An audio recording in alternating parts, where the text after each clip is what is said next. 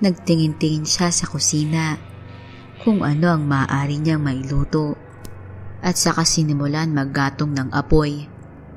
Kahoy lang ang gamit niya. Isang tipikal na magsasaka lang si Edgar sa sityo Hanagdong. Hindi masyado palakibo kung hindi mo ito babatiin. Pero kahit papano, ay mas gwapo naman ito ng isang paligo sa mga kalalakihan roon. Medyo kulot ang buhok nito na bumagay sa hugis ng muka, kayumangging kaligatan at mamasil na pangangatawan. Gawa ng batak maghapon sa pagbubukid. Mabuti na lang at meron siya kahit papano ng mga stock na pagkain. Gawa nga ng malayo siya sa kabayanan. Ipinagluto niya ang dalaga ng sabaw. Kombinasyon ng itlog, luya, at asin o mas kilala sa tawag na basa-basa. Mabisa yung pampauli ng lakas. Kaya naman yun ang niluto niya para rito. Nagsaing na rin siya at nagluto ng ulam para sa kanyang tanghalian. Napagpasahan niya na huwag na munang pumunta sa kanyang bukid pagkat ayaw naman niyang iwan ang dalaga. Ganap na alas 11 na ng umaga. Binuksan niya ang kanyang munting radyo at nakinig ng dula roon. Iniisip pa rin niya kung ano nga ba ang nangyari sa dalaga at sinong pumatay sa lalaking naroroon ng matagpuan niya ito. Samantala, ang pamangkin ni Aling Elsa ay kasalukuyang nagtatawag sa bahay niya. Nagtataka ito kung bakit kanina pa ay hindi man lang lumalabas ang kanyang tiyahin. Samantalang bukas naman ang pinto nito. Cha? Cha! Ano po bang ginagawa nyo? May pinapasabi po si inay. Ani nito. Subalit wala pa rin. Kaya nagpa siya ito na pumasok na lang sa bahay. Ngunit pagbungad niya sa loob, ay karimari-malim na tanawin ng kanyang nakita. Ay, Chelsea! Anong nangyari sa'yo? Sinong gumawa nito? Chelsea! Kahit nangangatog ang tuhod, ay tumakbo siya palabas ng bahay at nagsisigaw. Tulong! Tulungan niyo kami! Ang tiya, patay na. Naglabasan naman ang mga tao sa kanilang bahay. Naalarma sa sigaw na naririnig nila at di naglipat saglit ay napakarami ng tao ang nakiusyoso sa bahay ni Tandang Elsa. Marami ang naghaka-haka na may kagalit ito, kaya ito pinatay. Ang ilan naman ay pinagpalagay na lang na gawa ito ng isang aswang. Base sa itsura nito. Sa burol naman ng nanay ni Guada ay maghapon pala itong nakatulog dahil sa kalasingan. Mabuti na lang at kinising ito ng kapatid ni Gado para ihanda ang bangkay ng ina at dadalhin na sa sementeryo. Hinanap ni Guada ang anak pero hindi niya ito makita. Nawala na ang dami na gawa ng aswang na si Ason. Hindi kasi ito pwedeng maabutan ng liwanag. Makikita nila ang tunay na anyo nito. Yun ay isa lang sanga ng puno at gawa lang ng kapangyarihan nito. Kaya nagiging kamukha si Marian. Gado nakita mo ba si Marian? Ani ni Guada sa kapatid. Nasa mesa ito at kumakain. Ha? Kaninang umaga nakita ko. Nakatulog dyan sa bangko. Sumagot naman ito. Eh ngayon, nasan na? Aba malay ko. Abala na ako kanina sa mga dumadating na bisita. Hayaan mo na muna. Asikasuhin muna natin si inay para mailibing na rin. Aw, sige. Liligo lang ako at magbibihis. Ala, mo.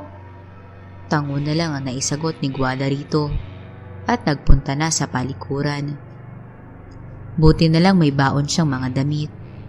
Nag-aalala man siya sa anak ay kailangan na rin mailibing ang nanay niya. Pagkat hindi ito kailangan patagalin. Mangangamoy na ito kung paaabutin pa nila ng ikalawang araw. Manong Gado, handa na ang kabaong na ginawa namin. Ano, Ililipat na ba? Tawag ng isang tumutulong na kapitbahay kay Gado. Napalingon siya rito at hinarap. Ganun ba, Manong Eli?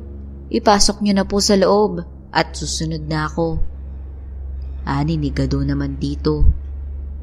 Ah, sige. Pagtutulungan na lang naming buhatin. Anong oras ba ang lakad natin papuntang sementeryo? Hmm, maya-maya lang po. At pag andito na si kapatid kong Guada, ay aarya na tayo. Sige, sige. Nauna na itong pumunta sa kabaong na plywood na nakalagay lang sa labas ng bahay. May mga kinausap itong mga kilala din. At maya-maya pa, ay tulong-tulong na silang binubuhat ito papasok sa bahay kung saan naroon ang bangkay ng matanda. Saglit lang din at Daroon na si Gado. Siya na ang nagtanggal ng kulambo na nakatakip lang sa nanay niya. Inilagay niya yon sa plastik. Pagkatapos, ay binalot nila sa kumot na sapin nito ang katawan ng matanda. Iniangat nila ito sa kama. Ang iba naman ay kinuha ang banig na sapin nito sa ilalim at saka ito inilatag sa bagong kabaong. Isinunod naman ang katawan ng matanda roon at saka ito tinakpan. Ipinako pa ito. Kasama ang kama na dinala sa labas, pati kulambo, ay sinunog. Habang ang damit na namatay na matanda ay sinunog din ng mga ito. Ganon sa probinsya kapag merong namamatay. Ang mga naiwang gamit nito o laging ginagamit at hinahawakan ay sinusunog. Saglit pa ay nasa kalsada na sila at buhat na ang kabaong. Kainitang tapat iyon. Konti lang ang sumama sa kanila pagkat ang iba ay naiwan sa bahay para maglinis at maghanda ng makakain pagbalik ng mga tao. Huh? Hmm? Ani ni Marian. At unti-unti itong nagigising sa mahabang pagkakatulog.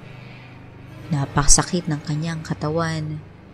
Ang likod naman niya, sa magkabilang paypay, ay parang may sugat dahil sa hapdi nito. Pati na ang kanyang balat. Nakahawak siya sa ulo na dahan-dahang bumangon upang mapagtanto lang na wala pala siyang panloob at tanging damit lang na malaki ang kanyang suot. Kinabahan siya. Bakit ganun? Ano ba talaga nangyayari sa akin? At bakit wala akong maalala? Mga katanungan sa isip niya. Pinagmasdan din niya ang silid kung saan naroon siya. At banyaga rin yun. Nahawakan niya ulit ang ulo niya pagkat sumasakit na naman yun ng matindi. Ah! Sigaw niya sa tindi ng kirot na naramdaman niya. Napalingon naman si Edgar sa silid kung nasaan ang dalaga. Narinig kasi niya ang pagsigaw nito. Tumayo siya at pinatay na ang radyo na pinakikinggan. Pagkatapos ay dumiretso siya sa silid niya kung nasaan ang dalaga. Bumungad sa kanya ang dalaga na namimilipit sa pagkakahiga at ahawak ang ulo. Dinaluhan agad niya ito para antabayanan sana. Subalit pagkakita nito sa kanya, ay napaurong ito sa sulok. At tila takot na takot ito. Huwag kang matakot sa akin. Ako si Edgar. Anya rito. Nanansya pa siya sa reaksyon ng dalaga. Parang nagpapakiramdaman silang dalawa. Anong ginawa mo sa akin? Bakit narito ako? At wala ni anumang saplot. Sunod-sunod na tanong ni Marian dito sa pagitan ng kanyang pag-iyak. Wala. Wala akong ginawa. Ang totoo niyan, tinulungan lang kita. Nakita kasi kita sa damuhan at ulang malay. Puro tugo ang katawan. At sa tabi mo, may isang bangkay ng lalaki na wasak ang katawan. Sagot niya sa dalaga. Paano nangyari yun? Ahanin nito. Aba, malay ko. Nilinis na nga kita at binihisan. Kaya lang, damit ko yung pinagamit ko sa'yo. Ano? Kung ganun nakita mo na lahat ng itinatago ko? Kulat na wika ng dalaga sa binata. Napakamot naman sa batok si Edgar. Bago siya sumagot. Alanganin siya dahil medyo nahihiya siya sa dalaga. Ah, mm, oo. Hubad ka nga nung makita kita sa damuhan. Alangan namang hindi kita tignan habang nililinisan. Sagot niya rito na may depensa agad na dahilan. Sa bagay, tama nga naman. Hindi na nakasagot pa si Marian rito pagkat nahiya na siya sa kaharap. Parang gusto tuloy niyang maglaho ng mga sandaling yun. Kaso wala naman siyang powers. Kaya nagtalakbong na lang siya ng kumot para matakpan ang pagkapahiya niya dito. Kakamot-kamot naman sa ulo si Edgar. Nahihiya din siya sa dalaga. Pero kailangan niya itong asikasuhin. Naalala niya ang niluto niya dito na pagkain. Kaya tumayo siya sa papag na pinaghihigaan nito at lumabas papunta ng kusina. Nagsalog siya roon ng tama lang ang dami ng sabaw sa tasa. Mabuti na lang at mainit pa ito. Kumuha siya ng kutsara at saka bumalik na uli sa kwarto. Oh, heto. Humigop ka muna ng sabaw. Niluto ko to para sa'yo. Anya niya sa dalaga. Ah, eh, ilagay mo na lang dyan. Ako nang bahala. Ani naman ito sa kanya. Pero, kaya mo na ba? Ako na. Ako na magsusubo sa'yo. Baka hindi mo pa kaya at matapunan ka lang.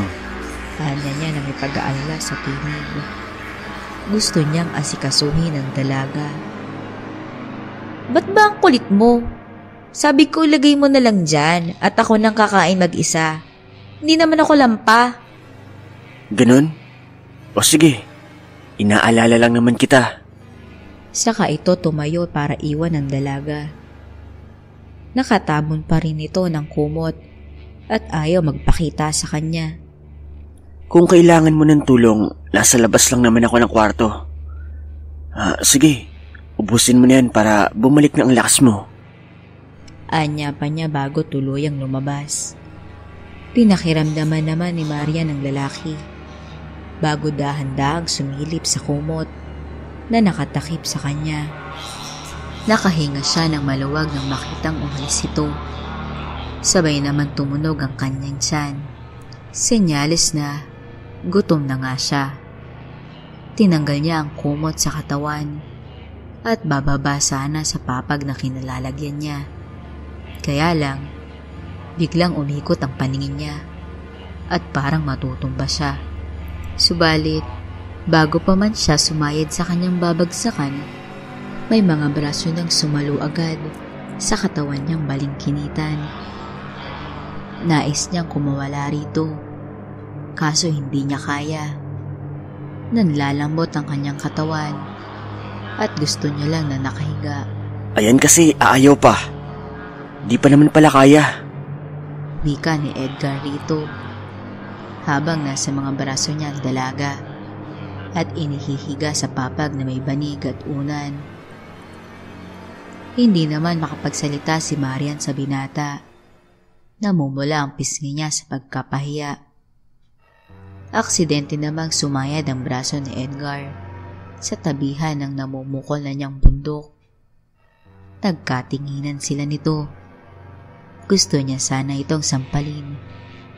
Ngunit may isang bahagi ng pakiramdam niya ang parang nabuhay. Pakiramdam niya ay medyo nakiliti siya roon. Unang nagbawi ng tingin si Edgar. Nagsorry ito sa dalaga. At tuluyan na nga niya itong inihiga na dahan-dahan sa una na naroon. Wala namang imig sa dalaga. Nang biglang may bumagsak na ahas sa kama. Galing bubungan. Napasigaw si Marian. Sabay kapit kay Edgar at yapos. Wala na siyang pakialam kung lumapat man ang katawan niya rito. Ang mahalaga ay may mapagkunan siya ng lakas. Sobrang takot na takot kasi siya sa ahas. Naglambitin siya sa leeg ni Edgar at ipinagsiksikang mabuti ang katawan. Maliit lang naman na ahas to. Ang natatawang wika ni Edgar sa dalaga. Anong maliit? Eh basta takot na ako dyan. Please, pakilayo mo naman. Eh, paano ko ilalayo? Nakakalong ka sa akin. Eh paano ako bibitaw sa'yo? Nariyan pa yung ahas na yan. Ayoko! Please, parang awa mo na. Ilayo mo na ako dyan. Si Marian na halos bumaon na ang mukha niya sa dibdib ni Edgar. Huwag lang niya makita ang ahas. Natatawa naman ang binata sa inakto ng babaeng lihim niyang minamahan. Nakita niyang mabilis na gumapang ang ahas, pababa ng kama, at nahulog na sa siwang ng kawayan na pinakasahig. Maliit lang naman ito at alibusugin lang, kaya hindi siya takot rito. Oh, ayun na po. Wala na siya. Mas natakot ako sa'yo eh. Biro niya sa dalaga. Madahan namang tiningnan ni Marian ang banig kung wala na nga talaga ito. At nang makasigurado, ay agad siyang bumitaw sa lalaki at saka lumayo. oh, bakit ka naman biglang lumayo dyan? Halika na. Umupo ka na dito at ako nang magsusubo sa'yo nitong sabaw. Bago pa lumamig ito. Ani ni Edgar sa dalaga. Eh, kasi nakakahiya naman. Pautal-utal na sagot ni Marian rito. Hindi niya mawari ang sarili. May kung anong kaba siyang nararamdaman sa lalaki tuwing malapit ito. Hindi yung takot, kundi isang pakiramdam na banyaga sa kanya. Maglalabing walo na siya sa susunod na buwan. Pero ni minsan, wala pa sa isipan niya ang humanga sa mga kalalakihan. Hindi naman sa wala siyang magustuhan. Ang kaso lang ay late bloomer siya. Yung tipong isip bata pa rin sa ganong edad niya. Pero ngayon, kakaibang pakiramdam niya para sa lalaki. Ang amoy ng binata ay parang kumapit sa ilong niya na napakabango at gusto niya laging inaamoy.